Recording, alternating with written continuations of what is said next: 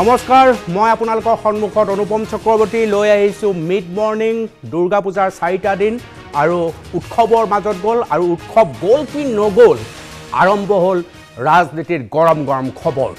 ৰাজনীতিৰ গৰম খবৰত আপোনালোকে সকলোৱে ইতিমধ্যে জানে মিয়া মিউজিয়াম অৰ্থাৎ মিয়া সংগ্ৰহালয়ক লৈ ইতিমধ্যে চাৰিওফালে এক উত্তাল পৰিৱেশৰ সৃষ্টি হৈছে। এই সম্পৰ্কীয় সকলো কথাত এক প্ৰকাৰ কি বিৰোধী কি সাহস পক্ষ সকলোৱে একেলগে এই বিষয়টোক লৈ বিতৰ্ক আৰম্ভ কৰিছে। কি আছিল বিতৰ্ক? পোনপ্ৰথমে আমি চেয়াৰমান আলীৰ এক বক্তব্য শুনি ল'ব খুজিছোঁ। বৃহত্তৰ অসমীয়াৰ যেনেকৈ বড়ো কাৰ্বি ডিমাচা মিচিং আদি ক্ষুদ্ৰ ক্ষুদ্ৰ জনগোষ্ঠী মিলিত হৈ বৃহত্তৰ অসমীয়া জনগোষ্ঠী হৈছে একেধৰণে। সেই সৰু সৰু জনগোষ্ঠীৰ লগত মিয়া জনগোষ্ঠীও লগ হৈ অসমীয়া বৃহত্তৰ অসমীয়া জাতি গঠন হৈছে। যদি অসমৰ অসমীয়া সংস্কৃতি বৃহত্তৰ অসমীয়া সংস্কৃতি প্ৰদৰ্শন কৰিবলৈ আমি বড়ো কাৰ্বি ডিমাচা আদি বিভিন্ন সৰু সৰু গোটৰ সংস্কৃতি প্ৰদৰ্শন কৰিব পাৰোঁ বা গ্ৰহণযোগ্য হয় তেতিয়াহ'লে চৰ চাপৰি সত্তৰ লাখ মানুহৰ এক বৰ্ণাঢ্য সংস্কৃতি কিয় প্ৰদৰ্শন নহ'ব? সেইকাৰণে মই এই স্থিতিত অটল আৰু মোৰ দেহত শেষ বিন্দু শুনি থকালৈকে মই ইয়াৰ কাৰণে যুঁজি যাম।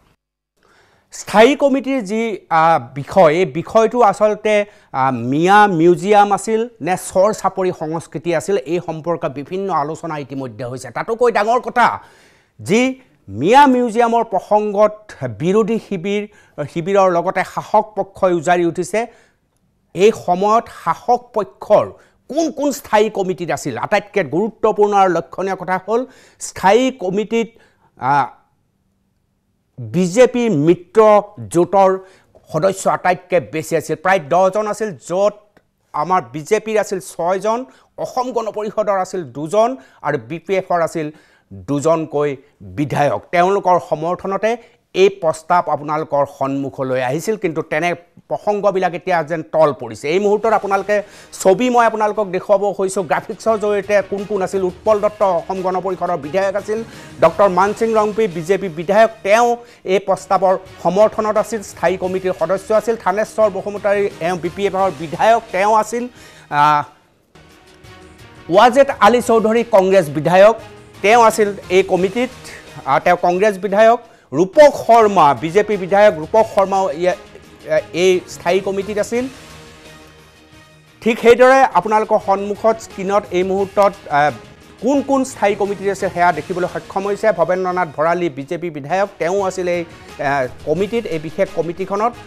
চেয়াৰমান আলীটো আছিল যিয়ে কংগ্ৰেছ বিধায়ক। চেয়াৰমান আলীয়ে গোটেই বিষয়টোত এক প্ৰকাৰ মুখ্য পৃষ্ঠপোষকতা গ্ৰহণ কৰা যেন হৈছে। Abani Basumatary B P F বিধায়ক তেওঁ আছিল এই স্থায়ী কমিটিত। দুৰ্গা ভূমিজ কংগ্ৰেছ বিধায়ক দুৰ্গা ভূমিজো আছিল এই স্থায়ী কমিটিত। মুঠ পোন্ধৰজনীয়া এখন কমিটি মন কৰিব। উৎপল বৰা বিজেপি বিধায়ক গহপুৰৰ আমি জানো উৎপল বৰা বিজেপি বিধায়ক তেওঁ আছিল এই স্থায়ী কমিটিত।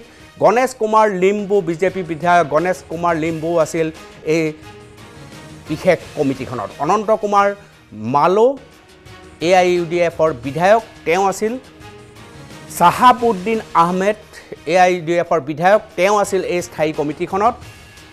ইয়াৰ মুঠতে সাতজন বিজে ছজন বিজেপি বিধায়ক ছজন সাতজন বিজেপি বিজেপি বিধায়ক আছিল দুজন বি পি এফ বিধায়ক বি পি এফ বিধায়ক আছিল আৰু অসম গণ পৰিষদৰো দুজনকৈ বিধায়ক আছিল। কংগ্ৰেছৰ তিনিজনকৈ বিধায়ক ইয়াত সং স্থায়ী কমিটিখনত আছিল।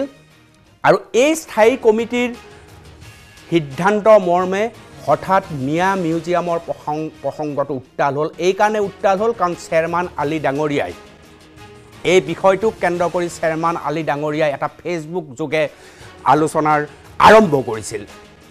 মন কৰিবলগীয়া যে চৌব্বিছ মাৰ্চতে বিষয়টো প্ৰথম উত্থাপন হৈছিল তেতিয়া লকডাউন চলি আছিল। লকডাউনৰ মাজ ঠিক আগে আগে এই বিষয়টো উত্থাপন হৈছিল। তাৰপিছত বিষয়টো তাপ মাৰি আছিল। অক্টোবৰৰ শেষৰ ফালে ঊনৈছ অক্টোবৰত চেয়াৰমান আলী ডাঙৰীয়াই ফেচবুক যোগে প্ৰথম এই বিষয়টো উত্থাপন কৰে। আটাইতকৈ ডাঙৰ প্ৰশ্ন মিয়া মিউজিয়াম বুলি আছিল নে চৰ চাপৰি সংস্কৃতি সম্পৰ্কে আছিল এই সম্পৰ্কে এতিয়ালৈকে কোনো মুকলিকৈ মুখ খোলা নাই। আমি চেয়াৰমান আলী ডাঙৰীয়াৰ ডাঙৰীয়াৰ ফোনযোগে আমি যোগাযোগ কৰিবলৈ চেষ্টা কৰিম খন্তেক সময়ৰ পাছতে তেওঁক ফোনত আমি পালে তেওঁৰ মতামত আমি জানিবলৈ চেষ্টা কৰিম। কিন্তু এই সমগ্ৰ বিষয়টোক কেন্দ্ৰ কৰি ডক্টৰ হিমন্ত বিশ্ব শৰ্মাই এটা ৰাতিৰ ভিতৰতে ৰাষ্ট্ৰীয় পৰ্যায়ৰ বিতৰ্কৰ সূচনা কৰে। কাৰণ তেওঁ বিশেষ এটা টুইট কৰে আপোনালোকে জানে মাদ্ৰাছা বন্ধ কৰাক কেন্দ্ৰ কৰি ৰাষ্ট্ৰীয় স্তৰত ডক্টৰ হিমন্ত বিশ্ব শৰ্মাই এক কোলাহল তুলিছিল। পিছৰ পৰ্যায়ত এই মিয়া মিউজিয়াম কোনো কাৰণতে হ'ব নোৱাৰে জাতীয় জীৱনৰ কাৰণে ডাঙৰ প্ৰত্যাহ্বান বুলি মন্তব্য কৰি তেওঁ টুইট কৰিছিল আৰু তাৰপিছত ৰাষ্ট্ৰীয় চেনেলতো ইয়াৰ ব্যাপক প্ৰচাৰ হয়। ৰাষ্ট্ৰীয় যদি আজিকালি নিৰ্বাচন বুলি ক'লেই ৰাজনীতি বুলি ক'লে হিন্দু মুছলমানৰ ৰাজনীতি ধৰ্মীয় মেৰুকৰ মেৰুকৰণৰ ৰাজনীতিয়ে এতিয়া মূল সম্বল যিহেতু সেইবাবেই যিহেতু মিয়া মিউজিয়াম মিউজিয়ামৰ প্ৰসংগটো ডক্টৰ হিমন্ত বিশ্ব শৰ্মাই উত্থাপন কৰিছিল আৰু ৰাষ্ট্ৰীয় স্তৰত ইয়াৰ আলোচনা হৈছিল। কেইবাটাও ৰাষ্ট্ৰীয় চেনেলে বিগত চৌব্বিছ ঘণ্টাত এই বিশেষ বাতৰিটোক বিশেষভাৱে গুৰুত্ব দি প্ৰচাৰ আৰু প্ৰসাৰ কৰাইছিল। কি কৈছিল ডক্টৰ হিমন্ত বিশ্ব শৰ্মা হিমন্ত বিশ্ব শৰ্মাই মাত্ৰ এবাৰ নহয় কেইবাবাৰো তেওঁ পূজাস্থলীত গৈও সাংবাদিকৰ সন্মুখত মিয়া মিউজিয়ামৰ বিষয়ে ক'বলৈ ভুলবশতো তেওঁ পাহৰা নাই। কি কৈছিল ডক্টৰ হিমন্ত বিশ্ব শৰ্মাই? অকণমান শুনাই লৈছোঁ। মই আজি কিছুদিনৰ পৰা কৈ আহিছোঁ যে অসমৰ সভ্যতা সংস্কৃতিৰ ওপৰত কিছুদিনৰ পৰা এটা প্ৰণালীবদ্ধ আক্ৰমণ আমি লক্ষ্য কৰি আহিছোঁ। এটা সময় আছিল যে এই আক্ৰমণবিলাক নামনি অসম আৰু মধ্য অসমৰ কিছু জাগাত কেন্দ্ৰীভূত হৈ আছিল।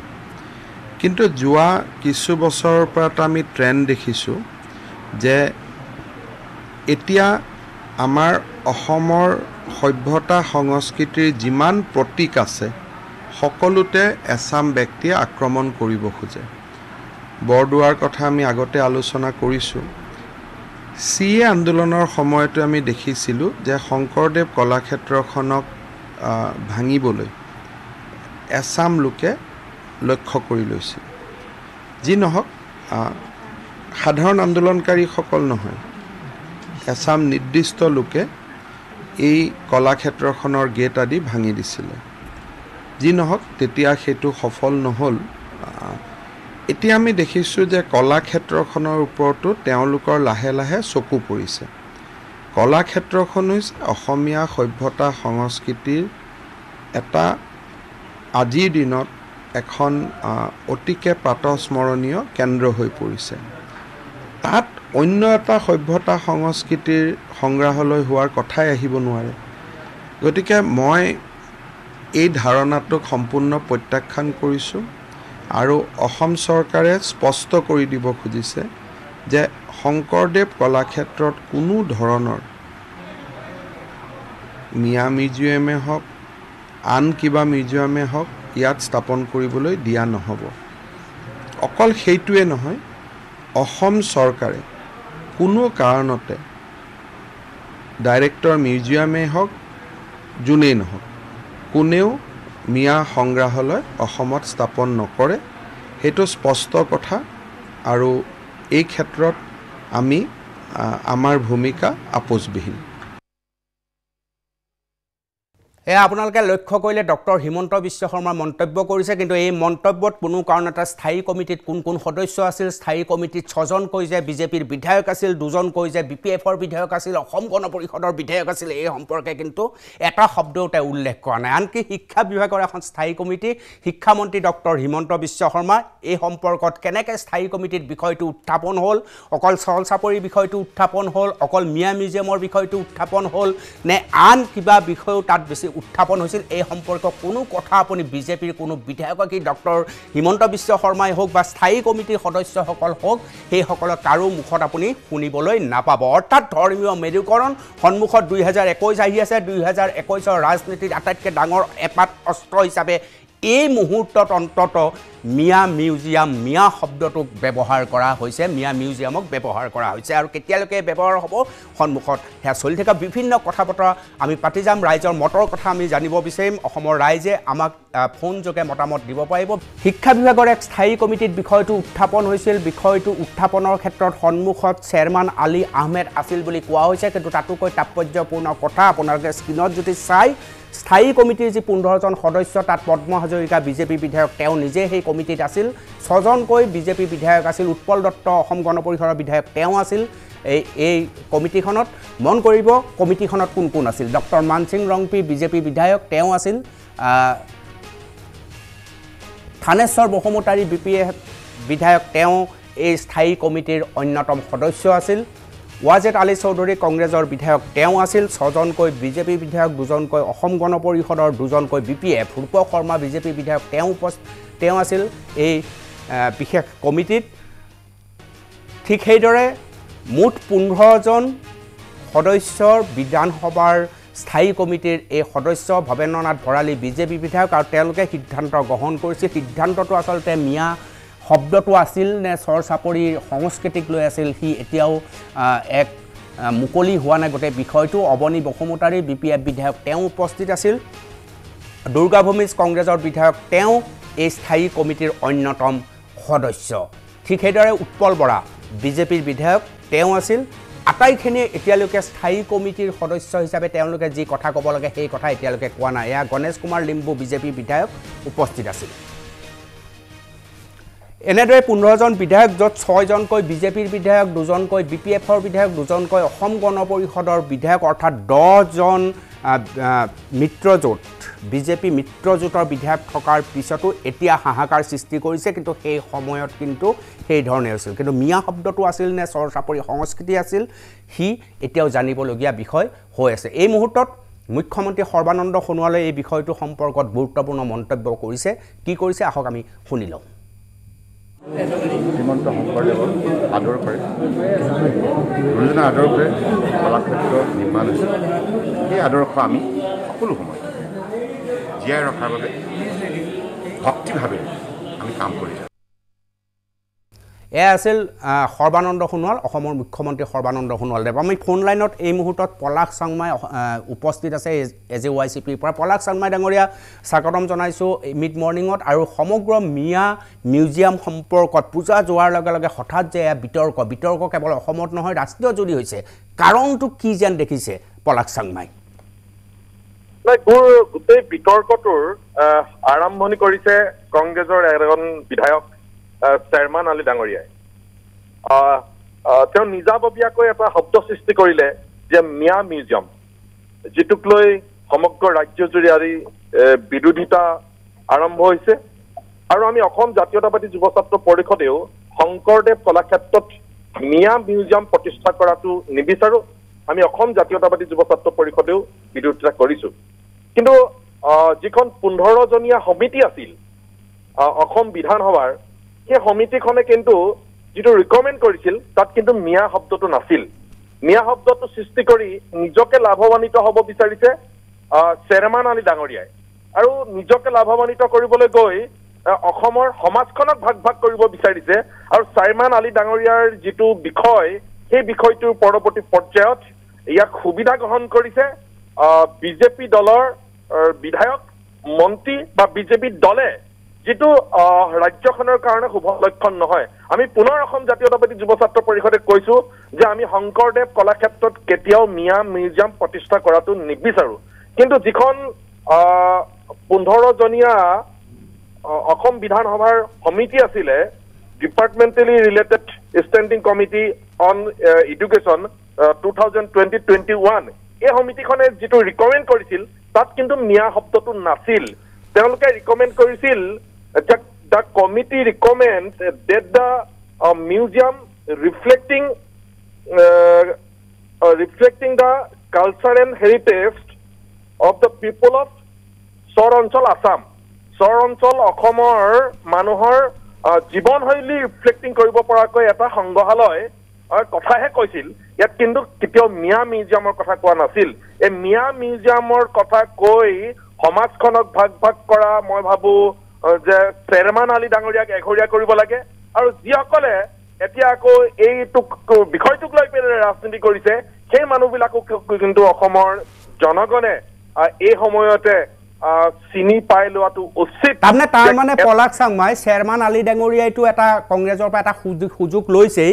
কিন্তু যিসকল বিজেপি বিধায়ক অসম গণ পৰিষদৰ বিধায়ক তাত স্থায়ী কমিটি আছিল তেওঁলোকে অন্ততঃ এই কথাষাৰ মুকলি কৰিব লাগিছিল যে বিষয়টো মিয়া শব্দটো নাছিলে চৰ চাপৰি সংস্কৃতি শব্দটো আছিল। সেই কথাও তেওঁলোকে এইকাৰণে কোৱা নাই কাৰণ তেওঁলোকে এটা সুবিধা ল'ব বিচাৰিছে। সেই সুযোগ শাসকীয় পক্ষৰ দহজন বিধায়ক আছিল। তাত বিজেপিৰ আছিল আমি সকলোৱে জানো ছজন। আহ, আনহে নালাগে তাতে চেয়াৰমেন অসম গণ পৰিষদৰ উৎপল বৰা ডাঙৰীয়া। আৰু তাৰ অন্যতম এগৰাকী সদস্য যিগৰাকীয়ে এতিয়া সৰব ভূমিকা লৈছে পদ্ম হাজৰিকা ডাঙৰীয়া। পদ্ম হাজৰিকা ডাঙৰীয়া সেই সভাখনত উপস্থিত নাছিল যদিও আমি সকলোৱে জানো যেতিয়া এখন আমাৰ সাধাৰণভাৱে সভা হয় সেইখনতো বিধানসভাৰ এখন বিধানসভাই গঠন কৰি দিয়া অসম চৰকাৰে গঠন কৰি দিয়া এখন সমিতি পোন্ধৰজনীয়া কিন্তু আমি সাধাৰণভাৱে আমাৰ যিবিলাক সমিতিত আমি কিছুমান ৰিজলিউচন লওঁ সেই ৰিজলিউচন বিলাক নিশ্চয়। যিবিলাক অনুপস্থিত থাকে মেম্বাৰ সেই মেম্বাৰ বিলাকলৈ দিওঁ এই মেম্বাৰ হয়। বিলাকলৈ দিওঁতে পদ্ম হাজৰিকা ডাঙৰীয়াও নিশ্চয় পাইছে কিন্তু তেওঁ সেই সময়ত আপত্তি। নকৰিলে বা আজিৰ তাৰিখতো তেওঁ তেওঁ এটা ৰাজনীতি কৰিবলৈ গৈছে মই ভাবো চেৰমান আলী ডাঙৰীয়াক যেনেধৰণে আহ, চেৰমান আলী ডাঙৰীয়াই যেনেধৰণে সমাজখন ভাগ ভাগ কৰি মুছলিম ভোটৰ দ্বাৰা তেওঁ বিধায়ক হৈ আহিব বিচাৰে আৰু এই বিজেপি দলৰ যিসকল বিধায়ক তেওঁলোকেও এনেধৰণে ধৰ্মীয় মেৰু বিভাজনৰ দ্বাৰা- তেওঁলোকে ৰাজনৈতিকভাৱে লাভৱান্বিত হ'ব বিচাৰিছে। অৰ্থাৎ কংগ্ৰেছ আৰু। বিজেপিয়ে ধৰ্মীয় মেৰু বিভাজনৰ দ্বাৰা লাভৱান্বিত হ'ব বিচাৰিছে। কিন্তু আমি অসমীয়া সমাজখন কিন্তু ইয়াৰ কাৰণে ক্ষতি হৈছো। নিশ্চয় বহুত বহুত ধন্যবাদ। খুব ধুনীয়া কথা পলাশ চাংমাই ডাঙৰীয়াই খুব সুন্দৰ কথা কৈছে। ৰাজনীতি ৰাজনীতি আৰম্ভ কৰা হৈছে কি কংগ্ৰেছ কি বিজেপি সকলোৱে। পূজা গ'ল কি নগ'ল আৰম্ভ হ'ল মিয়া মিউজিয়ামক লৈ বিতৰ্ক। স্থায়ী কমিটিত প্ৰায় পোন্ধৰজন সদস্য য'ৰ ছজন সদস্যই আছিল বিজেপিৰ দুজন আছিল অসম গণ পৰিষদৰ দুজন আছিল বি পি এফৰ বিধায়ক অৰ্থাৎ মিত্ৰজোঁটৰ দহজন বিধায়ক থকাৰ পিছতো এই বিষয়টোক কেন্দ্ৰ কৰি মিয়া মিউজিয়ামৰ প্ৰসংগটো কেনেকৈ আহি সি এক ডাঙৰ বিষয় হিচাপে উত্থাপন হৈছে আৰু এই সম্পৰ্কে চেয়াৰমেন আলী আহমেদে ফেচবুক যোগে এই অক্টোবৰৰ পূজাৰ আগে পিছে তেওঁ এক মত প্ৰকাশ কৰাৰ পাছতে বিষয়টো যথেষ্ট ওপৰলৈ উঠে আৰু শেহতীয়াভাৱে ডক্টৰ হিমন্ত বিশ্ব শৰ্মাই টুইট কৰাৰ পিছত ৰাষ্ট্ৰীয় পৰ্যায়তো বিষয়টো উত্থাপন হয়। কিন্তু প্ৰশ্ন হৈছে স্থায়ী কমিটিত মিয়া শব্দটো আছিল নে নাই? বহুতে ক'ব খোজে যে চৰ চাপৰিৰ সংস্কৃতি বুলি উল্লেখ আছে। লক্ষণীয় যে চৰ চাপৰি সংস্কৃতি মানে কেৱল মিয়া নহয় কাৰণ তাত নেপালী সম্প্ৰদায়ো থাকে তাত কৈৱৰ্ত মানুহো থাকে বহু পৰিমাণে মিচিং লোক সকলো চৰ চাপৰিত বসবাস কৰে আৰু গৰুৰ খুঁটি ম'হৰ খুঁটিৰ পৰা আৰম্ভ কৰি বিভিন্ন ধৰণৰ ব্যৱসায়ত তেওঁলোক জড়িত হৈ থাকে। কেৱল মিয়া শব্দটো কিয় তাৰ পৰিস্থিতিত ব্যৱহাৰ কৰা হ'ল? বহুত পৰিমাণে ক'ব খোজা হৈছে যে কংগ্ৰেছৰ বিধায়ক চেয়াৰমেন আলী আহমেদে নিজৰ ৰাজনৈতিক মুনাফা লাভৰ বাবে এই চেষ্টা কৰিছে। সমান্তৰালভাৱে বিজেপিৰ বিধায়কসকল বা বিজেপি মিত্ৰজোঁটৰ বিধায়কসকল সকল স্থায়ী কমিটিত থকাৰ পিছতো এই মিয়া শব্দটো যে আচলতে স্থায়ী কমিটিখনত নাছিল বিষয়টো নাছিল চৰ চাপৰি বুলি আছিল এই বিষয়টো এতিয়ালৈকে কিন্তু তেওঁলোকে মুকলি কৰি দিয়া নাই। অৰ্থাৎ বিৰো শাসক পক্ষইও আহ, পৃথকভাৱে ৰাজনৈতিক মুনাফা লাভৰ আদা মুনাফা লাভৰ চেষ্টা কৰিছে। অৰ্থাৎ ধৰ্মীয় মেৰুকৰণ স্পষ্টভাৱে কৰিবলৈ হৈ- হৈছে হিন্দু আৰু মুছলমানৰ ৰাজনীতি বাৰে বাৰে প্ৰতিটো কথাতে হিন্দু আৰু মুছলমানৰ ৰাজনীতি টানি আনিব খোজা হৈছে। এই মুহূৰ্তত স্থায়ী কমিটিৰ অন্যতম সদস্য ইতিমধ্যে আপোনালোকে সকলোৱে জানে উল্লেখ কৰিছে সেয়া হৈছে পদ্ম হাজৰিকা। পদ্ম হাজৰিকাই স্থায়ী কমিটি সম্পৰ্কতো গুৰুত্বপূৰ্ণ মতামত প্ৰকাশ কৰি কৈছে যে স্থায়ী কমিটিত কি সিদ্ধান্ত লৈছিল মই নাজানো কিন্তু মই ইয়াৰ পক্ষত নাই। কি কৈছিল পদ্ম হাজৰিকাই? শুনি লওক প্ৰথমতে। গুৰুজনাৰ নামত যিখন কলাক্ষেত্ৰ আমাৰ হৈছে অসম চুক্তিৰ আধাৰত গতিকে ইয়াক আমি বিচাৰিছোঁ যে ইয়াৰ আওতাৰ বাহিৰৰ কোনো কথা যাতে কেতিয়াও তাত উদ্ভৱ হ'ব নোৱাৰে। আৰু এইটো ক্ষেত্ৰত মই আগতেও ষ্টেণ্ড দি আহিছোঁ এনেকুৱা কথাত আজিও দিম আৰু ভৱিষ্যত দিনতো দিম। মই এই বিশ্বাস ৰাখিবলৈ অনুৰোধ জনাইছোঁ যে ছ'চিয়েল মিডিয়াত কোনোবাই কোনোবাই কৈছে যে আপুনি কমিটিত আছে।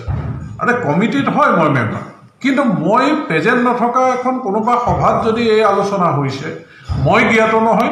আৰু এনেকুৱা কথাত অন্ততঃ মই কেতিয়াও প্ৰশ্ৰয় নিদিওঁ যিটো আওতাৰ বাহিৰৰ কথা। ইয়াত অসমীয়া কলা সংস্কৃতি ৰক্ষাৰ কথাই আহিব গুৰুজনাৰ সৃষ্টিৰাজিৰ কথা আহিব। কেনেকৈ চৰ চাপৰি বা মিয়া মানুহৰ সংস্কৃতিৰ কথা আমাৰ গুৰুজনাৰ নামত এই শংকৰদেৱ কলাক্ষেত্ৰত অহাটো সম্ভৱ নেকি? গতিকে এই ক্ষেত্ৰত মইতো সকলোকে আহ্বানে জনাইছোঁ মইতো প্ৰতিবাদ কৰিমেই কৰি আছোঁ।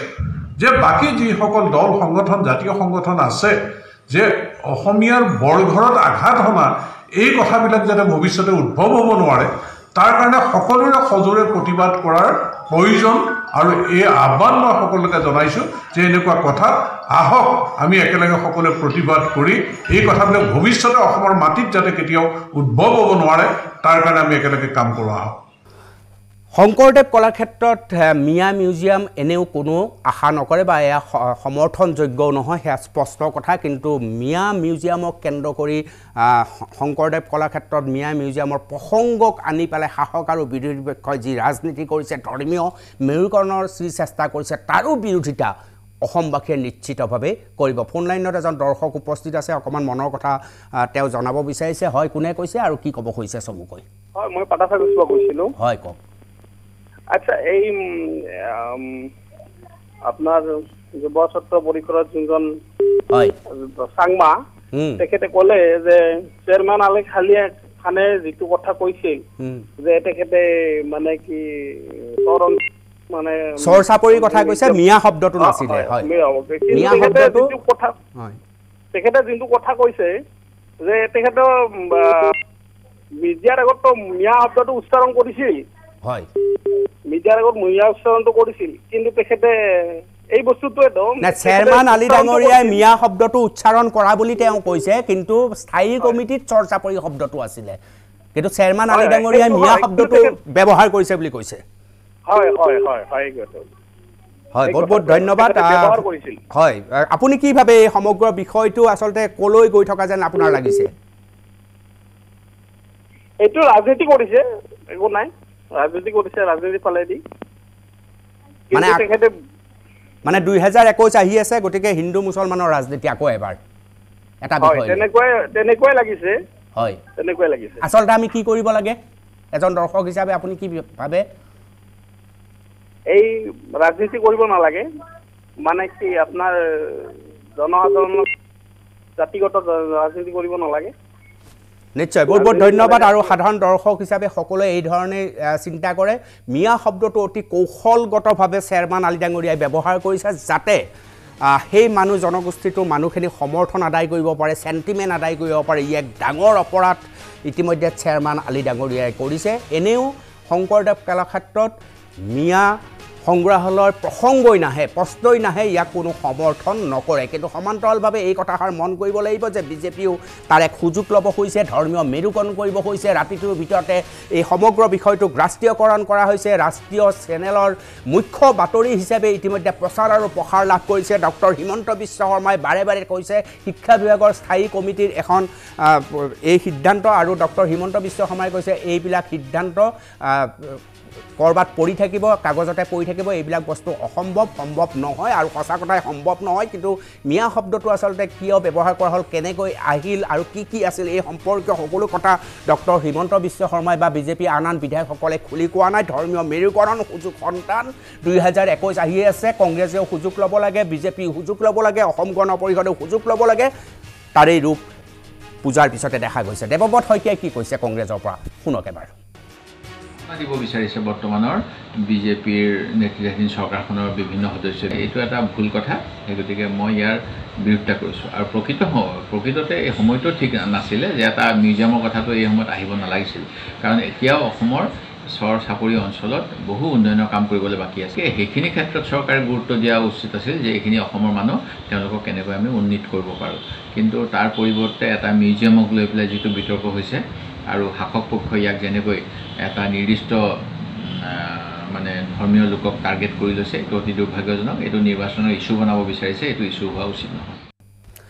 এয়াই ফল। দেৱব্ৰত শইকীয়াই কৈছে যে এটা নিৰ্বাচনী ইছ্যু বিচাৰি কৰিব বিচাৰিছে আকৌ এক কংগ্ৰেছৰ পৰাই এনেকৈ মতামত প্ৰকাশ কৰাইছে চেয়াৰমান আলিক সমৰ্থনো কৰা হৈছে মন কৰিবলগীয়া। দল এটা মত কিন্তু ভিন্ন।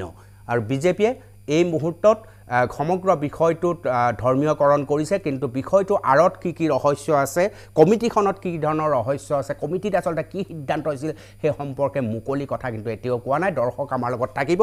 সংগ এক আৰু বিতৰ্ক বহু বেলেগ বেলেগ ধৰণে উত্থাপন হৈছে আৰু প্ৰসংগটো আপোনালোকে জানে পূজাৰ উৎসৱৰ এই মাজত লাহেকৈ উৎসৱটো গ'লহে লগে লগে মিয়া মিউজিয়ামক লৈ ইতিমধ্যে বিতৰ্ক আৰম্ভ হৈছে। মিয়া মিউজিয়াম কোনো কাৰণতে শংকৰদেৱ কলাক্ষেত্ৰৰ নিচিনা ঠাইত হ'বই নোৱাৰে এই প্ৰসংগ অহা নাই। কিন্তু এই প্ৰসংগটোক কেন্দ্ৰ কৰি ইতিমধ্যে ৰাজনীতি আৰম্ভ হৈছে কি কংগ্ৰেছ কি বিজেপি সকলোৱে ৰাজনীতি পথাৰত নামি পৰিছে। আৰু বিষয় এতিয়া কেৱল এটাই আৰু সেয়া হৈছে মিয়া মিউজিয়াম। ৰাষ্ট্ৰীয় পৰ্যায়ত পৰ্যন্ত ইয়াৰ এই বিতৰ্কক লৈ যোৱা হৈছে। ৰাষ্ট্ৰীয় স্তৰতো ইয়াক গুৰুত্ব সহকাৰে প্ৰচাৰ কৰা হৈছে। দুহেজাৰ একৈছৰ নিৰ্বাচন আহি আছে। হিন্দু মুছলমানৰ ৰাজনীতি ইতিমধ্যে আৰম্ভ হৈছে। এই বিষয়টোতো সেয়াই স্পষ্ট হৈছে সেয়া আপুনি মই আমি প্ৰতিজনে সহজে অনুমান কৰিব পাৰোঁ।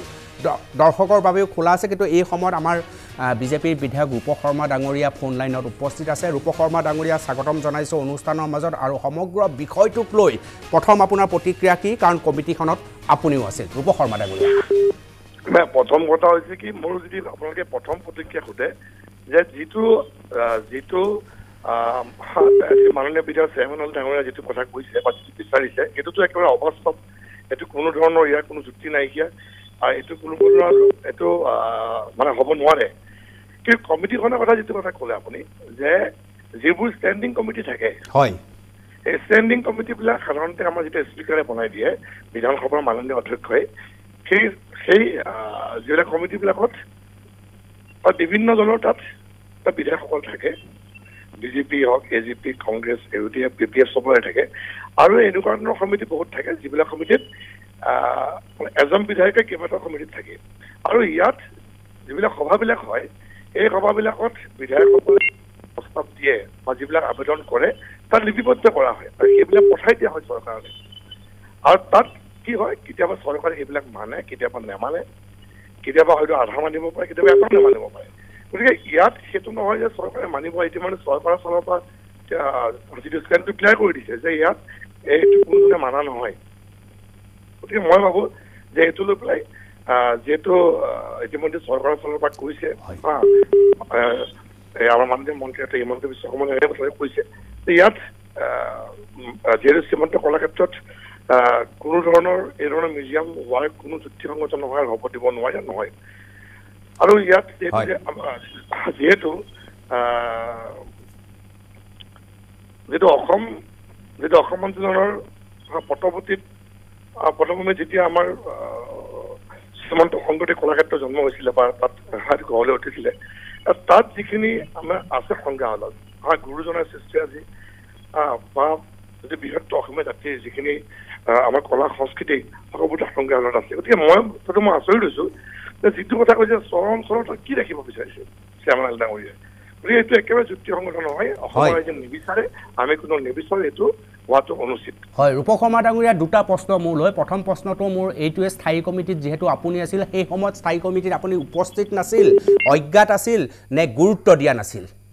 নহয় চাওক প্ৰথম কথা হৈছে কি স্থায়ী সমিতি যিবিলাক সভা সমিতিবিলাক হয় হা সেই সভা সমিতিবিলাক কেতিয়াবা আমাৰ থকা হয় কেতিয়াবা আমি নাথাকো। যে এইটো এনেকুৱা নহয় যে তাত থাকিবই লাগিব বুলি হা। ইয়াত আপোনাৰ আপুনি গম পাইছে যে পোন্ধৰজন সদস্য থাকে হা। আৰু ইয়াত যিহেতু যিবিলাক পঠিয়াই দিয়া হয় সেইবিলাক মই আপোনাক কৈছো ইতিমধ্যে যে কেতিয়াবা সেইবিলাক চৰকাৰে মানে কেতিয়াবা নেমানে গতিকে ইমান সেইটো ইমান গুৰুত্ব আমি নাভাবো। আৰু সেইকাৰণে কেতিয়াবা তাত থকা নহয়। আৰু এই যিটো আলোচনা হৈছিলে সেই আলোচনা সময়ত মই ব্যক্তিগতভাৱে তাত নাছিলো। আৰু এনেকুৱাও হয় কেতিয়াবা সেই সভাখন দিনজোৰা কাৰ্যসূচীৰে হয়। কেতিয়াবা আমি দেখো যে কেতিয়াবা। যদি কেতিয়াবা আমি ধৰি লওক অলপ সময়ৰ কাৰণে কিবা থকা হয় যদি গুৰুত্ব থাকে। কেতিয়াবা দিনটো থকা নহয় এনেকুৱা ধৰণৰ কথাবোৰ থাকে। গতিকে যিয়ে নহওক যে এইখন সমিতিত যোন আছে যোন নাই ডাঙৰ ডাঙৰ মোৰ এটাই কথা যে যিহেতু এইটো যিবিলাক বিধায়কসকলে তাত পঠিয়াই তেওঁলোকে যিবিলাক তাত প্ৰতিবেদন দিয়ে বা যিবিলাক আবেদন দিয়ে সেইবিলাক যেতিয়া চৰকাৰে পঠিয়াই দিয়ে গতিকে এইটো মই ভাবো যে চৰকাৰে যিহেতু এইটো বস্তু নিজে এবাৰ বিচাৰ কৰি চাব আৰু এইটো যিহেতু হা ইয়াৰ মানাৰ কোনো যুক্তি নাইকিয়া গতিকে মই ভাবো যে এইটো কেতিয়াও হ'ব নোৱাৰে। শৰ্মা ডাঙৰীয়া আপোনাৰ হাতত কি তথ্য আছে? মিয়া শব্দটো মিয়া মিউজিয়াম মিয়া শব্দটো আচলতে স্থায়ী কমিটিত থকা শব্দ নে এইটো চেয়াৰমান আলিৰ সৃষ্টি? কি তথ্য আছে আপোনাৰ হাতত? নাই চাওক প্ৰথম কথা হৈছে কি মই আপোনাক কৈছো যে এই যিটো আলোচনাৰ সময়ত সেই সময়টোত মই নাছিলো। হা গতিকে তেওঁ কি ধৰণে আবেদন কৰিছিলে কিন্তু সেইটো সময়ত আচলতে মই যেতিয়া নাছিলো সেই বিষয়ে মই বিশেষ ক'ব নোৱাৰিম। হা কিন্তু মই মই আপোনাক কৈছো যে তেওঁ বিধায়ক হিচাপে যেতিয়া কিবা এটা আবেদন কৰিছে নিশ্চয় সেই সময় মাইনাছত লিখি পেলাই এইটো পঠিয়াই দিছে। হা এইটো বস্তু তেওঁ পঠিয়াইছে তেওঁক বিধায়ক হিচাপে সন্মান কৰি পেলাই। কিন্তু এইটো যেতিয়া যেতিয়া যাব বিধানসভালৈ বা চৰকাৰলৈ সেইটোতো গোটেইটো আপোনাৰ চৰকাৰৰ ওপৰত নিৰ্ভৰ কৰিব মানা নেমানাটো আৰু ইতিমধ্যে ক্লিয়াৰ কৰি দিছে এইটো কোনো ক্ষেত্ৰত নহয়। ৰূপ শৰ্মা বহুত বহুত ধন্যবাদ জনাইছোঁ। এয়া আছিল বিজেপিৰ বিধায়ক ৰূপ শৰ্মা যি স্থায়ী কমিটিৰ অন্যতম সদস্য তেওঁ তেওঁৰ মতামত প্ৰকাশ কৰিলে। এইবাৰ আমি আঙুৰলতা ডেকা যি যি শংকৰদেৱ কলাক্ষেত্ৰৰ উপাধ্যক্ষা তেওঁ মতামত প্ৰকাশ কৰিছে। কি কৈছে শুনক। অসমৰ বুকুত বসবাস কৰা প্ৰতিটো জাতি জনগোষ্ঠীৰ কৃষ্টি সংস্কৃতিৰ পৰম্পৰাসমূহৰ প্ৰচাৰ প্ৰসাৰ আৰু সংগ্ৰহালয়ৰ মূল কেন্দ্ৰ হৈছে শ্ৰীমন্ত শংকৰদেৱ কলাক্ষেত্ৰ। গুৰুজনাৰ আদৰ্শৰ ওপৰত প্ৰতিষ্ঠিত অসমৰ এক বৃহৎ জাতীয় অনুষ্ঠান। আৰু এই জাতীয় অনুষ্ঠানটিত মিয়া সংগ্ৰহালয় স্থাপনৰ প্ৰস্তাৱ যি এগৰাকী বিধায়কে আগবঢ়াইছে সেয়া আমাৰ কাৰণে অতি দুৰ্ভাগ্যজনক।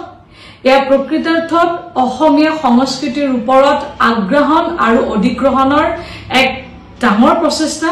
আৰু এই ধৰণৰ প্ৰচেষ্টা এতিয়াৰ নহয় বহু যুগৰ পৰা চলি অহা এটা প্ৰচেষ্টা। আৰু এই ধৰণৰ মানসিকতা আমি বিগত কা আন্দোলনৰ সময়ত সকলোৱে প্ৰত্যক্ষ কৰিছিলো যেতিয়া কা আন্দোলনৰ গইনা লৈ এনেকুৱা ধৰণৰ কিছুমান অপশক্তিয়ে কলাক্ষেত্ৰক আক্ৰমণ কৰিছিল। এই সম্পৰ্কত আমাৰ মাননীয় মন্ত্ৰী ডক্টৰ হিমন্ত বিশ্ব শৰ্মা ডাঙৰীয়াদেৱে যি স্পষ্ট মত প্ৰকাশ কৰিছে সেই স্থিতিক আমি সকলোৱে শলাগ লৈছো। অনাগত দিনত অসমীয়াৰ আৱেগ আৰু স্বাভিমানক হাত দিয়া প্ৰতিটো অপশক্তিৰ বিৰুদ্ধে আমি সকলোৱে একগোট হৈ যুঁজি যাম আৰু এই বৃহত্তৰ অনুষ্ঠানটোৱে এই বৃহৎ অনুষ্ঠানটোৱে অনাগত দিনত বিশ্ববাসীৰ কল্যাণৰ কাৰণে নিৰন্তৰভাৱে কাম কৰি যাব। জয় গুৰু শংকৰ ধন্যবাদ। আঙুলতা ডেকাই কৈছে কা আন্দোলনৰ সময়ত কিছুমান অপশক্তিয়ে কা আন্দোলনৰ গইনা লৈ কিছু কাম কৰিছিল আৰু আজিৰ তাৰিখত মিয়া মিউজিয়ামৰ গইনা লৈ বিজেপি আৰু মিত্ৰজোঁটৰ বিধায়কসকলেও একেধৰণৰ ৰাজনীতি আৰম্ভ কৰিছে। সেই ৰাজনীতিত শংকৰদেৱ কলাক্ষেত্ৰৰ উপাধ্যক্ষা আঙুলতা ডেকায়ো সেই একেধৰণৰ ৰাজনীতি আৰম্ভ কৰিছে মিয়া ৰাজনীতি আৰম্ভ কৰিছে কৰিছে হিন্দু মুছলিমৰ ৰাজনীতি আৰম্ভ কৰিছে ৰাজনীতি কৰিব খোজা হৈছে ধৰ্মীয় মেৰুকৰণৰ দুহেজাৰ একৈছলৈকে যাতে বিষয়টো লৈ যাব পাৰি সেইবাবেই কৌশলগতভাৱে ডক্টৰ হিমন্ত বিশ্ব শৰ্মাই ৰাষ্ট্ৰীয় স্তৰতো ইয়াৰ ব্যাপক প্ৰচাৰ আৰু প্ৰসাৰ ইতিমধ্যে কৰিছে। এই বিষয়ে আমি আলোচনা কৰি থাকিম ৰাইজৰ মতামত আমি জানিম আৰু বহু বিধায়কৰ মতামত আছে আমি শুনোৱাই যাম আপোনালোকক। কেতিয়াবা মোগল সমানে সমানে আজমল। এতিয়া আকৌ মিয়া মিউজিয়াম। ৰাজনীতিৰ যেন শেষ নাই। এইখন দেশত দৰিদ্ৰতা এতিয়া ডাঙৰ কথা হৈ থকা নাই।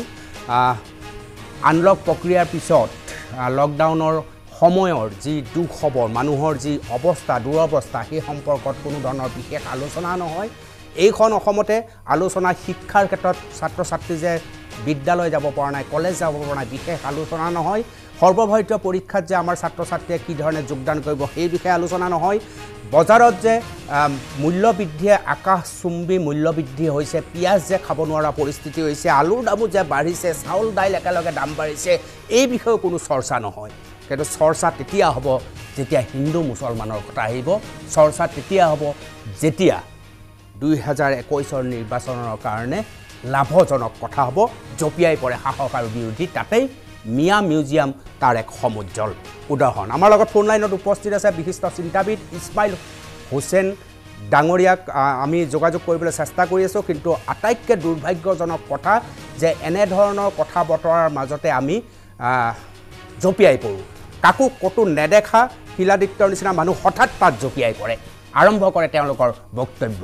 শেহতীয়াকৈ পূজাৰ এই সময়ছোৱাতে শিলাদিত্য আকৌ জাগি উঠিছে কাৰণ এটা ডাঙৰ শক্তিশালী বিষয় চৰ্বিত চৰ্বণ কৰিবলৈ তেওঁ সুবিধা পাইছে। কি কৈছে শিলাদত্তই শুনক।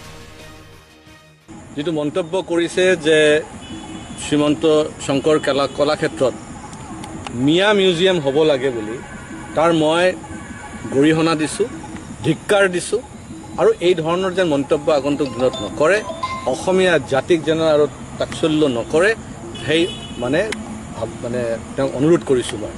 আৰু দ্বিতীয়টো হৈছে কি যে তেওঁ যে কৈছে যে চৰ চাপৰিৰ মানুহৰ যি কালচাৰ তাক মানে মিউজিয়ামত ৰখাৰ কাৰণে চৰ চাপৰিত কোনে থাকে? তেওঁ নিজে কৈছে যে মিয়াসকল থাকে। মিয়াবিলাক কেনেকৈ আহিল?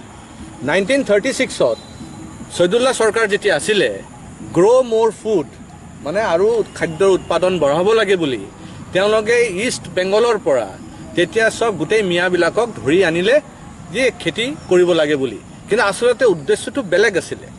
কোনো গ্ৰ' মোৰ ফুডৰ কথা নাছিলে তেওঁলোকে গোটেই মিয়া মানুহক আনি পেলাই চৰ চাপৰিত বসবাস কৰাইছিল যি- অসমটো যেন ইষ্ট পাকিস্তান গুচি যায়।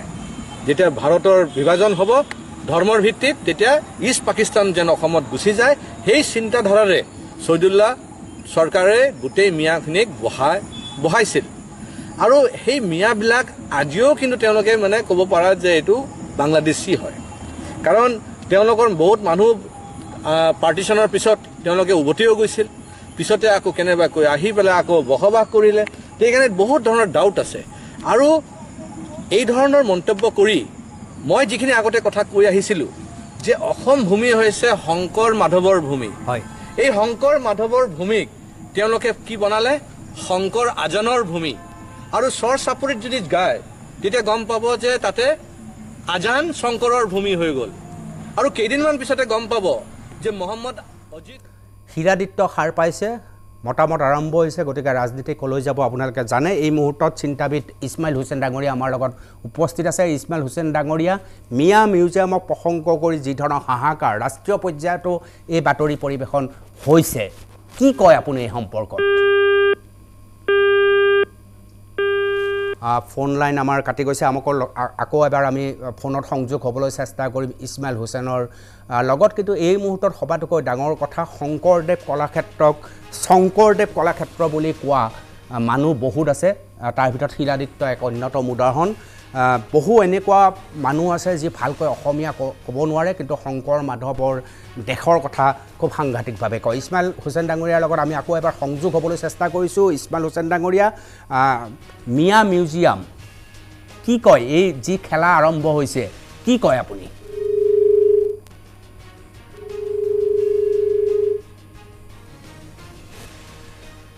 ফোন সংযোগ আমাৰ বাৰে বাৰে বিচ্ছিন্ন হৈছে। আমি চেষ্টা কৰি আছোঁ। ইছমাইল হুছেইনৰ লগত তেওঁৰ মনৰ কথা আমি জানিবৰ কাৰণে কিন্তু আটাইতকৈ ডাঙৰ কথাটো হৈছে অসমীয়া জাতীয় জীৱনৰ যি দুৰ্যোগ হৈছে সেই দুৰ্যোগৰ বিষয়বিলাকত বিশেষকৈ অসমীয়া ভাষাৰ ক্ষেত্ৰত অসমীয়া সংস্কৃতিৰ সৰু সৰু কথাবিলাকৰ ক্ষেত্ৰত আমি কিন্তু গুৰুত্ব এতিয়ালৈকে দিব পৰা নাই। আমি যেনেকৈ বিভিন্ন জনগোষ্ঠীয় সৰু সৰু জনগোষ্ঠীৰ ভাষা সংস্কৃতিৰ কথা আছে সেই কথাবিলাকত আমি গুৰুত্ব দিব পৰা নাই। ইছমাইল হুছেইন ডাঙৰীয়া এই মিয়া মিউজিয়ামক প্ৰসংগক কেন্দ্ৰ কৰি আপুনি চাগে এইকেইদিন খুব মন কৰি আছে এই গোটেই বিষয়টোত আপুনি আপুনি নিজে নিজস্ব মতামত কি আপোনাৰ? হয় টি আৰ এছ চিৰ অনুমোদন পত্ৰত চৰ চাপৰিৰ সংগ্ৰহালয়ৰ কথা কোৱা হৈছে চৰ চাপৰিৰ লোক সংস্কৃতিৰ সংগ্ৰহৰ কথা কোৱা হৈছে তাক আমি আদৰণি জনাইছো। কিন্তু মাৰ্চ মাহৰ ডি আৰ এছ চিৰ সিদ্ধান্তৰ বিপৰীতে গৈ শ্বেৰমান আলী বিধায়ক ডাঙৰীয়াই যেতিয়া মিয়া মিউজিয়াম ক'লে তাৰ আমি এশভাগ বিৰোধিতা কৰিছো। কাৰণ মিয়া নামৰ কোনো জনগোষ্ঠী নাই। অসমীয়া জাতিৰ লগত চৰ চাপৰি মানুহ সম্পৃক্ত হৈ পৰিছে। তেওঁলোকৰ চৰ চাপৰিৰ অসমীয়া পৰিচয়হে আছে। মিয়া মুছলমান পৰিচয় আমি কেতিয়াও গ্ৰহণ নকৰো। আমি লাখ লাখ চৰ চাপৰিৰ অসমীয়াই দাবী কৰিছো যে এই মিয়া মিউজিয়ামৰ এই প্ৰস্তাৱ বন্ধ কৰিব লাগে। তাৰ বিপৰীতে যদি অন্য জনগোষ্ঠীৰ লগত চহৰ চাপৰিত বসবাস কৰা বিভিন্ন জনগোষ্ঠীৰ এয়া ইছলাম ধৰ্মী হওক অন্য জন জনগোষ্ঠীয়ে হওক তেওঁলোকৰ লোক সামগ্ৰী যদি অসমৰ লোক সামগ্ৰী আছে এয়া বংগৰ পাকিস্তানৰ বা পশ্চিমবংগৰ নহয় অসমৰ লোক সংস্কৃতি যদি আছে সেইবোৰ সংগ্ৰহ কৰিব পাৰে। এয়া শংকৰদেৱ কলাক্ষেত্ৰ হল শংকৰদেৱক কেন্দ্ৰ কৰি অসমীয়া কৃষ্টি সংস্কৃতিৰ ভঁৰাল। আৰু তাত আমি অসমৰ থলুৱাখিনি চৰ চাপৰিৰ থলুৱা বয়ন শিল্প থলুৱা খাদ্যভাগ বা থলুৱা যিবোৰ এই কৃষি কৰ্ম বা থলুৱা যি বাঁহ শিল্প বিভিন্ন শিল্প এইবোৰ সংৰক্ষণ হ'ব পাৰে। চৰ চাপৰি সংগ্ৰহালয় বা জনগোষ্ঠীয় সংগ্ৰহালয় হিচাপে অন্য সকলো জনগোষ্ঠীৰ লগত। কিন্তু তাত মিয়া সংগ্ৰহালয় আমি কেতিয়াও সমৰ্থন নকৰো। মিয়া হল ঊনৈছশ এঘাৰ চনৰ বংগৰ পূব বংগৰ লোকপিয়লৰ এটা অপ্ৰধান জনগোট উপাধিধাৰী। ই এটা উৰ্দু শব্দ। ই প্ৰধান জনগোষ্ঠীও নহয় ই ভাৰতৰ ভূমিৰ লগত সম্পৰ্কিত শব্দও নহয়। সেই শব্দক কেন্দ্ৰ কৰি কোনোবাই যদি গালি পাৰে কাৰোবাক যদি তুচ্ছা তাচ্ছিলা কৰে সেই শব্দটোক আমি এটা জনগোষ্ঠীৰ নাম দিয়াটো কোনোদিনেই কামনা নকৰো। সেইকাৰণে আমি তাৰ চৰ অঞ্চলত আমি যিসকল অসমীয়া বসবাস কৰোঁ আমি বিহু পাতো ভাওনা কৰোঁ জিকিৰ গাওঁ ভাটিয়ালি গাওঁ আমি চৰৰ লোক সংস্কৃতি সাধনা কৰোঁ বিয়া নাম লাঠিবাৰী খেল এইবোৰ আমাৰ অসমৰ মাটিৰ লগত সম্পৰ্কিত আৰু সেই মাটিৰ লগত সম্পৰ্কিত খিনি কোনেও বিৰোধিতা কৰা নাই আৰু ডি আৰ এছ চিৰ এই পোন্ধৰগৰাকী সদস্যই বিৰোধিতা কৰা নাই? কিন্তু এইটোক ৰাজনীতি কৰিবলৈ নিৰ্বাচনৰ আগে আগে মিয়া সংগ্ৰহালয় আনিলে কিয়? আৰু তাৰ কাৰণে শ্বেৰমান আলী ডাঙৰীয়াই কি তাৰ লগত পৰামৰ্শ কৰিছে নাজানো। কিন্তু তেওঁ নিজে এগৰাকী সচেতন অসমীয়া হৈ তেওঁ ঊনৈছশ তিৰাশী চনত অসমীয়াত অসমৰ ভিতৰত সৰ্বোচ্চ নম্বৰ পাইছিলে এইচ এছ এল চি পৰীক্ষাত। সেইগৰাকী ব্যক্তিয়ে গৈ এতিয়া মিয়া মুছলমান মিয়া মিউজিয়াম আৰম্ভ কৰিছে। আমাৰ সন্দেহ হৈছে ইয়াত এক বছৰ আগতে মিয়া পয়ত্ৰীৰ নামত অসমীয়া জাতিক জেনোফেবিয়া আৰু এন আৰ চি কিবা কিবি এইবোৰলৈ বিভ্ৰান্তি সৃষ্টি কৰিছিলে। এতিয়া আকৌ এবছৰ পিছত আকৌ মিয়া মিউজিয়াম। এই মিয়া শব্দটো ত্যাগ কৰক ই সম্বোধন সূচক শব্দ হৈ থাকক ই কেতিয়াও জনগোষ্ঠীৰ নাম হ'ব নোৱাৰে ই এটা ঐতিহ্যৰ নাম হ'ব নোৱাৰে কাৰণ ই অসমৰ ঐতিহ্যৰ লগত কোনো সম্পৰ্কিত শব্দ নহয়। চেয়াৰমান আলী ডাঙৰীয়াই জানি বুজি মিয়া শব্দটো ব্যৱহাৰ কৰিছে। চেয়াৰমান আলী ডাঙৰীয়াই জানি বুজি মিয়া শব্দটো ব্যৱহাৰ কৰিছে ইছমাইল হুছেইন ডাঙৰীয়া। হয় কাল ব্যৱহাৰ কৰিছে। এতিয়া তেওঁ এটা এটা সংবাদ মাধ্যমত কৈছে যে মই মিয়া মিউজিয়ামৰ প্ৰস্তাৱ তুলি ল'ব পাৰো তুমি তুলি শ্বাৰমান ডাঙৰীয়াই তুলি ললেও তেওঁ কিয় আনিলে এইটো? তাৰ উদ্দেশ্য কি আছিলে? সেইটো আমি সন্দেহৰ দৃষ্টিৰে চাইছো। সেইকাৰণে আমি ভাবো তেওঁ উদাৰভাৱে ওলাই আহক এজন অসমীয়া হিচাপে ওলাই আহক। কোন জনগোষ্ঠী কি আছে অসমীয়া হিচাপে সংৰক্ষিত হওক। আৰু সেইটো সকলোৰ লগত মিলি কৰিব লাগিব। তেওঁ এটা প্ৰস্তাৱ লগে লগে দিলে নহব। ডি আৰ এছ চিৰ প্ৰস্তাৱৰ বিপৰীতে চৰ চাকৰি শব্দৰ বিপৰীতে তেওঁ মিয়া শব্দ লৈ আহিলে নহব। এই ক্ষেত্ৰত বিজেপি বিধায়কৰ যিটো ভূমিকা চৰ্চাপৰি সম্পৰ্কীয় কথাটো তল পেলাই কেৱল মিয়া কেৱল মিয়া সংগ্ৰহালয় বুলি যে বিজেপিৰ বিধায়ক এ জি পিৰ বিধায়কসকলে কৈ আছে তাৰ লক্ষ্যটো কি যেন আপোনাৰ লাগিছে আপোনাৰ বিশ্লেষণত? পাঁচগৰাকী বিজেপিৰ বিধায়ক আছে ডি আৰ এছ চিৰ এই সমিতিত আৰু দুগৰাকী এ জি পিৰ বিধায়ক আছে। এতিয়া তেওঁলোকে হয়তো এৰাই গলে নহব। তেওঁলোকে সেই সেই সভা এইবোৰ উত্থাপন কৰে আৰু তেওঁলোকৰ তেতিয়া সমৰ্থন আছিলে কাৰণ চৰ চাপৰি শব্দ ব্যৱহাৰ কৰা হৈছিলে। এতিয়া মিয়া শব্দ নাছে। এতিয়া মিয়া শব্দক লৈ তেওঁলোকে এইটো কৰিছে কিন্তু তেওঁলোকে চৰ চাপৰি শব্দৰ স্বীকৃতি দি কিন্তু মিয়া তেওঁলোকে স্বীকৃতি নিদিয়ে আমিও নিদিওঁ। আমিও মিয়া শব্দ গ্ৰহণ নকৰো। আন ঠাইতে মিয়া মিডিয়াম কেতিয়াও হ'ব নোৱাৰে। এই চৰ চাপৰিৰ সংৰক্ষণ হ'ব পাৰে। চত শতকৰা আশী ভাগ মুছলমান থাকে। শতকৰা বিশ ভাগ অন্য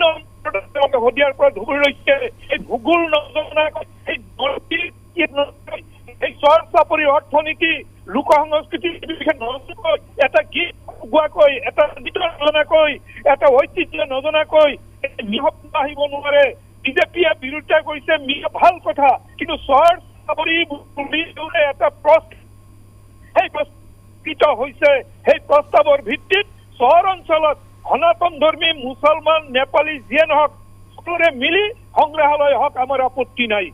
বহুত বহুত ধন্যবাদ ইছমাইল হুছেইন ডাঙৰীয়াই আছিল বিশিষ্ট চিন্তাবিদ ইছমাইল হুছেইন ডাঙৰীয়া। তেওঁ মিয়া শব্দটোৰ বিৰোধিতা কৰিছে। তেওঁ কৈছে চৰ চাপৰিৰ সকলো জনগোষ্ঠী মিলি পেলাই যদি কিবা সংগ্ৰহালয় হয় তাত তেওঁৰ আপত্তি নাই। কিন্তু মিয়া শব্দটোত তেওঁৰো আপত্তি আছে। অসমৰ বিভিন্নজনে ফোনযোগে আমাৰ সৈতে যোগাযোগ অব্যাহত ৰাখিছে তেওঁলোকৰ মনৰ কথা আমি শুনিবলৈ চেষ্টা কৰিম। কিন্তু মিড মৰ্ণিঙত এটা বিৰতি লৈছোঁ কিন্তু বিৰতিৰ পূৰ্বে আকৌ এবাৰ কৈছোঁ দুই হাজাৰ একৈছ আহিছে টাৰ্গেট দুই হাজাৰ একৈছ। কি কংগ্ৰেছ কি বিজেপি কি এ জি পি সকলোৱে মিয়া শব্দটোক লৈ ধৰ্মীয় মেৰুকৰণৰ ৰাজনীতি আৰম্ভ কৰিছে। সচেতন হোৱাৰ সময়। দুহেজাৰ একৈছৰ নিৰ্বাচন মানেই কেৱল মোগল আজমহল বাংলাদেশ অথবা এতিয়া উদ্ভাসি উঠা মিয়া সংগ্ৰহালয়। এইবিলাকেই দুই হাজাৰ একৈছৰ ইছ্যু হ'ব নেকি? শাসক পক্ষৰ হাতত উন্নয়নৰ কোনো শ্বেতপত্ৰ জনসাধাৰণৰ সন্মুখলৈ নানিব নেকি এক ডাঙৰ কথা? লকডাউনৰ সময়ত যি দুৰ্ভাগ্যই অসমীয়া মানুহক খেদি পৰিছিল যি দুৰ্ভাগ্যই নিম্ন বিত্ত পৰিয়ালৰ নিম্ন মধ্যবিত্ত পৰিয়ালৰ দুৰৱস্থাই গ্ৰাস কৰিছে সেই সম্পৰ্কীয় কোনো কথা কোনো ইছ্যু দুই হাজাৰ একৈছত নাহিব নেকি? দুই হাজাৰ একৈছত নাহিব নেকি? ফাঁচী বজাৰৰ সেই মূল্য বৃদ্ধিৰ কথা দুই হাজাৰ একৈছত নাহিব নেকি? নিবনুৱা চাকৰিৰ বাবে ৰৈ ৰৈ ৰৈ ৰৈ ৰৈ এক প্ৰকাৰ হতাশাত যোৱা সেই ল'ৰা ছোৱালীৰ কথা। দুই হাজাৰ একৈছত নাহিব নেকি? শিক্ষা ব্যৱস্থাই কেনেধৰণৰ ৰূপ গ্ৰহণ কৰিব সেই সম্পৰ্কে মুকলি কথা বতৰা কোৱা। দুই হাজাৰ একৈছত নাহিব নেকি? পেট্ৰল ডিজেলৰ মূল্য কমিবনে কমিবনে কমিব বুলি ক'ব পৰা শাসন শাসনাধিষ্ঠ পক্ষৰ মানসিকতা। দুই হাজাৰ একৈছ কেৱল হিন্দু মুছলিমৰ ৰাজনীতি দুই হাজাৰ একৈছ মানেই ধৰ্মীয় মেৰুকৰণৰ ৰাজনীতিয়ে সৰ্বগ্ৰাহী ৰূপ ল'ব নেকি? আজি যেন তাৰেই ইংগিত স্পষ্টভাৱে কোৱা গৈছে কোৱা গৈছে আৰু স্থায়ী সমিতিত এটা বিষয় উত্থাপন হ'ল হ'ল। বিষয়টোক লৈ পেলাই চেয়াৰমান আলীয়ে মিয়া শব্দটো সংযোজন কৰিলে আৰু তাৰপিছত এতিয়া চাৰিওফালে হাহাকাৰ। কি বিজেপিৰ বিধায়ক কি এ জি পি কি কংগ্ৰেছ সকলোৱে যেন মিয়া মিউজিয়ামক লৈহে ব্যস্ত হৈ আছে। উন্নয়নৰ কথাবিলাক যেন ক'ৰবাত তল পৰি আছে উন্নয়নৰ কথাবিলাক ঢাকিবলৈ চৰকাৰৰ ব্যৰ্থতাসমূহ ঢাকিবলৈ ই যেন এক হানিত অস্ত্ৰত পৰিণত হৈছে। আমি এই মুহূৰ্তত দুগৰাকীকৈ বৈষ্ণৱ বৈষ্ণৱৰ মতামত আপোনালোকৰ সন্মুখত দিব বিচাৰিছোঁ। তেওঁলোকে এই সম্পৰ্কত নিজৰ মতামত ব্যক্ত কৰিছে। শুনি লওক। শংকৰদেৱ কলাক্ষেত্ৰ মিউজিয়াম। মিয়া মিউজিয়ামৰ প্ৰস্তাৱ ইতিমধ্যে উপস্থাপন হৈছে। অসমৰ জনসাধাৰণে গম পাইছে যে কংগ্ৰেছ বিধায়ক শ্বেৰমান আলী আহমেদে উপস্থাপন কৰিছে যে মিয়া সংগ্ৰহালয় তাকো শ্ৰীমন্ত শংকৰদেৱ কলাক্ষেত্ৰত।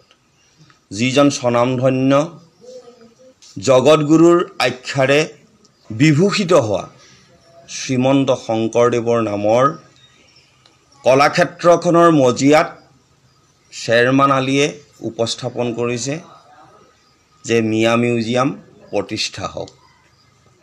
অসমৰ জনসাধাৰণে বুজি পাইছে যে কা আন্দোলনৰ সময়ত এইসকল ব্যক্তিৰ নেতৃত্বতে ভাঙি পেলোৱা হৈছিল শ্ৰীমন্ত শংকৰদেৱ কলাক্ষেত্ৰ। আৰু আজি অসমৰ জনসাধাৰণে বুজিবলৈ বাকী নাই যে শ্ৰীমন্ত শংকৰদেৱ কলাক্ষেত্ৰৰ মজিয়াত প্ৰতিষ্ঠা কৰিব লাগে দাবী উত্থাপন কৰিছে যে মিয়া মিউজিয়াম প্ৰতিষ্ঠা হওক। গতিকে অসমৰ জনসাধাৰণে নিশ্চয় বুজি পাইছে আৰু নিশ্চয় পাহৰি যোৱা নাই ডক্টৰ ভূপেন হাজৰিকাদেৱৰ যে অসমতে অসমীয়া মগনীয়া হ'ব। এই উক্ত যি তেখেতৰ ভৱিষ্যতবাণী এই ভৱিষ্যতবাণী নিশ্চয় অসমৰ জনসাধাৰণে বুজি পোৱা পাহৰি যোৱা নাই। আৰু জনসাধাৰণে এই কথা নিশ্চিতভাৱে বুজি পাইছে যে আমাৰ কৰণীয় কি হ'ব আমি কি কৰিম। এই সকলোবিলাক কথা চালি জাৰি চাই অকল চৰকাৰৰ ওপৰত ডক্টৰ হিমন্ত বিশ্ব শৰ্মাই কৰিব মাননীয় অসমৰ মুখ্যমন্ত্ৰীদেৱে কৰিব। যদি আমি তেখেতসকলক সহযোগিতা আগ নবহাওঁ তেখেতসকলে কেনেকৈ ইয়াৰ প্ৰতিকাৰ কৰিব? জনসাধাৰণে এই ক্ষেত্ৰত বুজি পাব লাগিব। কালি আমি ৰাতি টিভি চেনেলত এটা কথা দেখিলোঁ। শ্বেৰমান আলীয়ে অসমত মিয়াসকলৰ বাবে এটা মানে মিউজিয়াম বিচাৰিছে। সংৰক্ষণ ভঁৰাল। সংৰক্ষণ ভঁৰালটো বিচাৰিছে বিচাৰিছে তেওঁ বিচাৰিছে আমাৰ বৈষ্ণৱ গুৰু শংকৰদেৱৰ কলাক্ষেত্ৰত এইটো আটাইতকৈ মানে লজ্জাজনক এটা কথা আৰু যিটো কথা এজন সন্মানীয় বিধায়ক হৈ এই কথাটো ক'ব নালাগিছিল তেওঁ কিয় কৈছে মই নাজানো কিন্তু আমি অতি দুখিত। তেওঁ মানে সৌ সিদিনালৈকে তেওঁ বংগৰ পৰা অহা নে পশ্চিমবংগৰ পৰা অহা নে পাকিস্তানৰ পৰা অহা বিদেশী মূলৰ নেকি ঠিক নাই মূৰ তুলি কথা ক'ব নোৱাৰা এইসকল লোকে বৰ্তমান তেওঁলোকে মানে কোনোবা এটা দলৰ লগত মিতিৰালি কৰি মূৰ দাঙি উঠিব পৰা হৈছে আৰু এনেকুৱাবিলাক মানে বেয়া উক্তি প্ৰ- প্ৰকাশ কৰিছে যিবিলাক আমাৰ মানে খিলঞ্জীয়া মানুহৰ কাৰণে এটা ভয়াৱহ ইংগিত। প্ৰিয় দৰ্শক ৰাজনীতিৰ এই চঙৰ পৰা আপুনি মই আমি সকলোৱে সাৱধান হ'বৰ হ'ল কাৰণ দুই হাজাৰ একৈছ আহি আছে। দুই হাজাৰ একৈছ অহাৰ পূৰ্বে পূৰ্বে এনেধৰণৰ অপপ্ৰচাৰ হৈছে যি পৰিৱেশ আৰু পৰিস্থিতিত সৰু কালৰ পৰা হাফ পেণ্ট পিন্ধা বয়সৰ পৰা আপুনি মই এইখন শংকৰ ৰাজানৰ দেশ বুলি কৈছোঁ। এতিয়া তেওঁৰ বহু লোক আছে অতি হিন্দুত্ববাদৰ নামত আমি এতিয়া শংকৰ ৰাজান বুলি ক'ব নোৱাৰোঁ আমি ক'ব লাগে শংকৰ মাধৱ।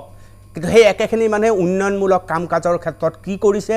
কেনেধৰণৰ শ্বেতপত্ৰ তেওঁলোকৰ সন্মুখত ৰখাৰ দুঃসাহস কিন্তু আজিলৈকে কৰিব পৰা নাই। আমাৰ সমস্যা হৈছে আমি নিবনুৱাৰ বাবে আমাৰ যুৱক যুৱতীসকল মুখ মেলি ৰৈ থাকিবলগীয়া হৈছে মূল্যবৃদ্ধিয়ে আমাৰ কঁকাল বেকা কৰি পেলাইছে। প্ৰতিনিয়ত আমি পাৰিপাৰ্শ্বিকতাৰ এক ডাঙৰ সমস্যাৰ মুখামুখি হৈছোঁ। আমি এই মুহূৰ্তত সমগ্ৰ অসমীয়াৰ নিজৰ সংস্কৃতি সংৰক্ষণৰ প্ৰসংগ আছে ভাষাটো আমি ৰাখাৰ প্ৰসংগ আছে আমাৰ চৰকাৰী স্কুলৰ ব্যাপক প্ৰসাৰ প্ৰচাৰৰ প্ৰশ্ন জড়িত হৈ আছে। এনেবোৰ কথাত আজিকালি কোনো মাত নাপাতে কেৱল হিন্দু মুছলমান লাগে ধৰ্মীয় মেৰুকৰণ লাগে। দুই হাজাৰ একৈছত আপুনি সাৱধান হওক যাতে আপোনাৰ জাতীয় চিন্তা চৰ্চাত কোনো আঘাত কৰিব নোৱাৰে। মিড মৰ্ণিঙৰ পৰা বিদায় লৈছোঁ। ধন্যবাদ।